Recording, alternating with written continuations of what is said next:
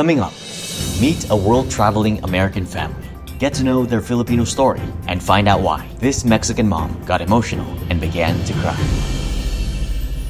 Hi, I'm Bani. I'm the writer and director of The Filipino Story. And I'm Cassie, the voice of the Filipino story. So, Cassie, I have a story that I want to share with you today. Okay. But first, I want to ask you, as a world traveler, right? Because you Oh. went to many parts of the world. You just came back from Amsterdam. We went to school in London. Yeah. And we went to Singapore together last year. Yeah. How many cities would you say you've been to your entire life? I'm not actually sure. So I have this app on my phone that actually calculates like how many countries I've been to, and that's a so far it's a total of 30. It's a humble start. 30 countries. Um, yeah, 30. I think it's okay. The cities, I'm not really sure, because then within the countries there are like multiple cities. Just take a guess. How many would you say? probably triple that. So it's like 30 times. 90. Yeah. Nice. Good math. Uh, yeah, yeah. Excellent math. or or more because then cities like in the Philippines alone there's Yeah, some yeah. Okay so times 10 Times 10. So 300. okay, okay. Well, well, Okay. let's just say 90. we'll say 90 All right. Well, this family I'm about to show you has Okay. traveled to over 100 cities around the world. wow And out of all the cities, they decided that they're gonna live here in the Philippines.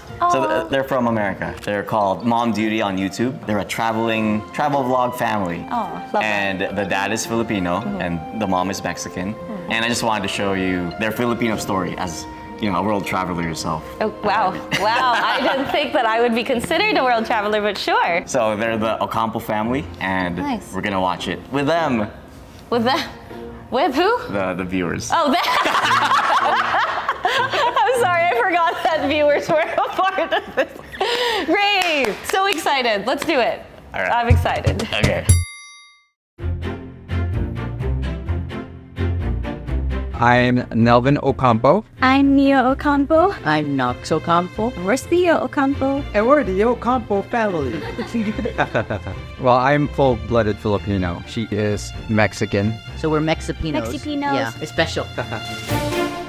How many followers do you have right now? A little over a million. Subscribe, Mom Duty. I was born in California, but I was adopted as a little girl. I was adopted into an American family, so I was brought up in an American home, and my adopted mother taught us everything about the American ways. And so I always felt like, you know, I'm not American enough and I'm not Mexican enough. and then you met a Filipino. Yeah, so I really didn't have a sense of belonging until I met my husband, Melvin. That's when I really got introduced to having a big family, that sense of community, people gathering and eating together. It was very overwhelming for me because I didn't really know what that felt like. I remember him inviting me to meet his mom and his aunts and cousins, and there were a lot of people In a small space. in a small space. And I'm like, oh, what's the celebration? What's going on? And they're like, no, there's no celebration. We're just hanging out with my cousins. It took me about 30 minutes just to say hi to his entire family. And I was like, what is this? It was overwhelming, super close. Their priority has always been just family first. And so I felt that right away. So I knew that every time we hung out, everybody was going to be there and it was going to be like a party. They were always so welcoming. These last 18 years, they've just always been so supportive, always asking questions. And I always thought, why do they want to know all this stuff? A lot of cheese miss. Yeah. but I think it's just the way they are. Like, how are you doing? How was work? But me growing up in an American home, that's like, that's too much. Like, this is my bubble. I don't always have to tell what's going on. But to them, it's just like, yeah, let's all hang out together and get to know each other. Filipino gatherings, you know, it's on a different level. Yeah. Hello, In October of 2022, we decided to do a stopover in Manila. And she ended up getting sick with a stomach flu. And so, what ended up being one week came out to a few weeks. And then all of a sudden, someone was telling us, you guys got to check out BGC if you guys going to stay this long. So, we decided to go to BGC, and we're like, holy moly, this exists in the Philippines. This is amazing.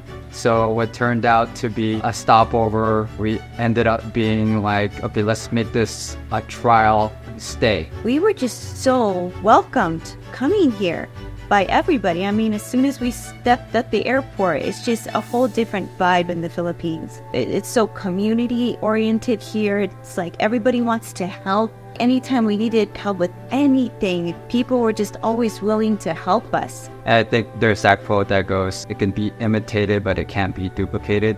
We traveled to over 100 cities around the world, and there's a lot of beautiful cities out there. But the thing is, what you can't duplicate are the people. So in the Philippines, the Filipino people are just so warm, and the hospitality is on a different level here. So right away, you feel a connection, the friendliness, the sense of belonging. I thought it was just like a stopover, and then I got sick. And it was a blessing in disguise because it felt immediately like home, and I loved it. So here we are now, and now we're talking about okay, Philippines most likely will be our forever home. This is where we belong.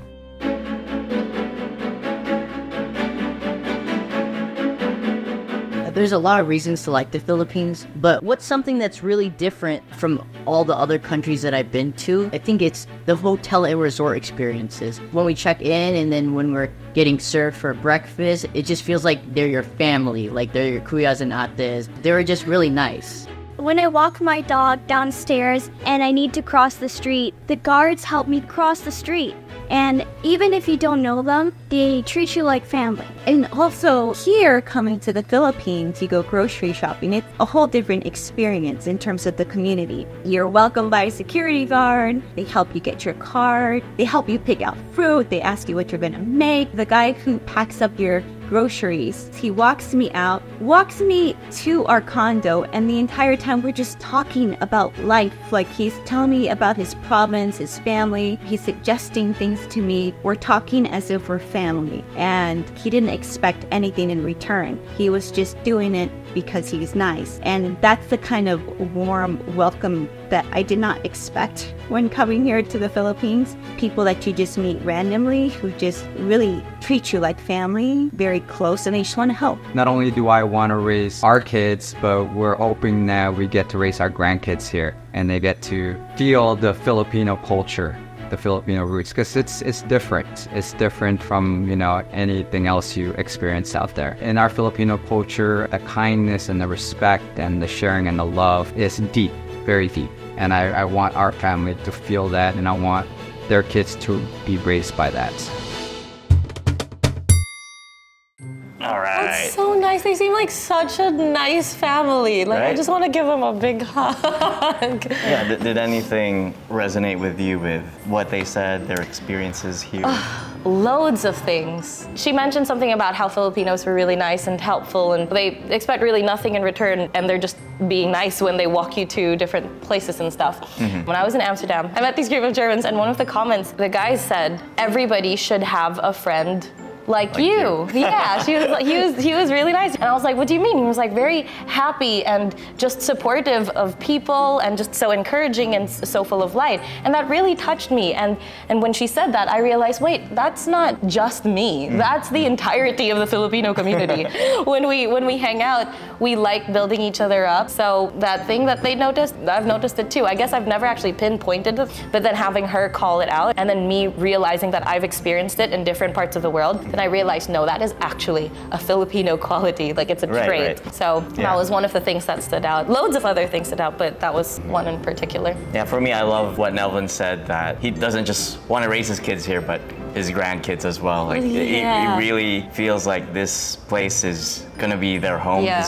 future generations as well. Yeah. And I feel like that's how I feel as well. When me and my wife, my the producer of the Filipino story, are gonna start raising a family. Yeah. Uh, this is where we feel our community is going to be and where we want to raise our kids. Not because some of our closest friends are here, Yeah. but also Also because of that, definitely. Also I mean, because of come that. on, Okay. we are. But also- I'm pretty sure that makes 80% of the. No, just kidding.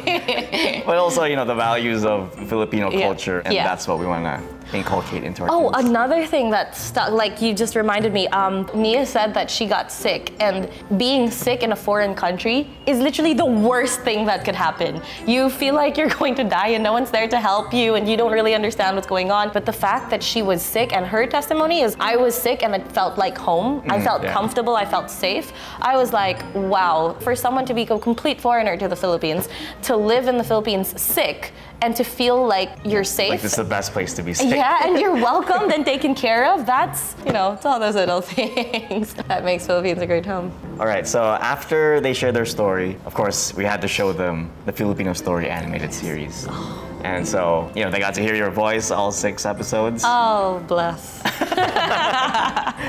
and this is their reaction.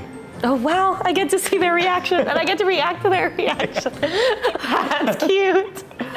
Okay, let's do this.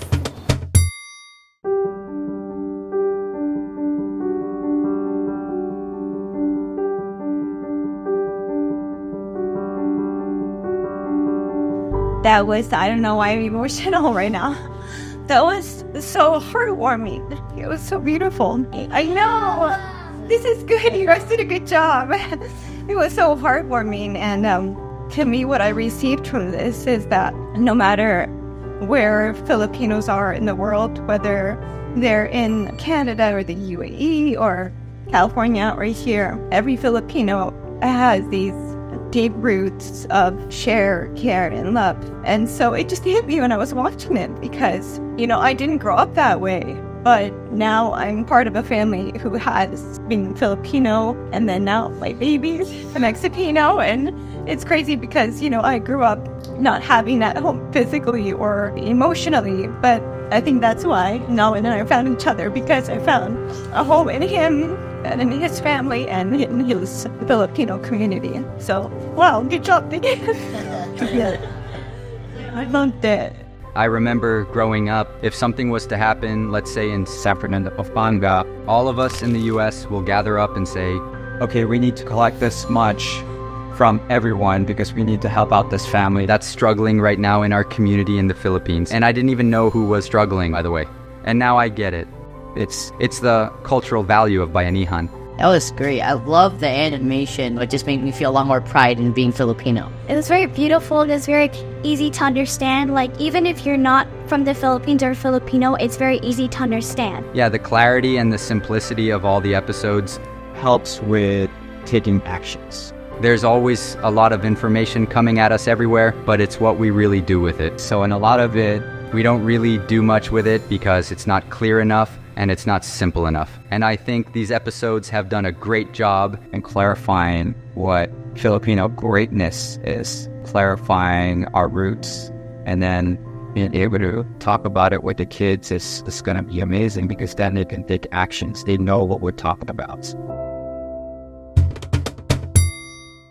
Oh, when I saw the mom cry, it just came to me. That's amazing. Yeah. Wow. Uh, How do you feel being part of this Oh Wow. big project where we get to tell people, we get to clarify to them who they are? Wow, good job, man. good job. It was crazy because I saw someone who wasn't Filipino cry hmm. for the story of the Philippines.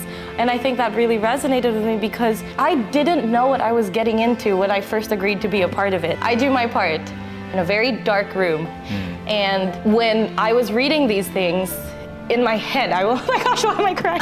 in my head, I was thinking of who I would be telling these stories to. Hmm. And it's hard because you need my voice before you can show it to the world. So it's not like you show it to the world and then I see it and then I get to picture them. So in my head, when I read them or when I would read these scripts, I would be like, who am I reading this to? And I would be thinking of kids like her kids, or like teenagers probably who are ashamed of where they come from. But to see the imaginations that I have in my head actually come to life, I think that's I think that's why I'm getting emotional because you see the reality of how like a little voice like mine, a little Filipino voice like mine, can actually impact other people's lives and change perspectives, and how words like yours can really bless and reach so many people. So, I don't know, it got me emotional just seeing their reaction to it. I always get emotional when I see people's reactions to it, but seeing someone who isn't even Filipino mm-hmm. connect with the Philippines, I think this is the start of being able to make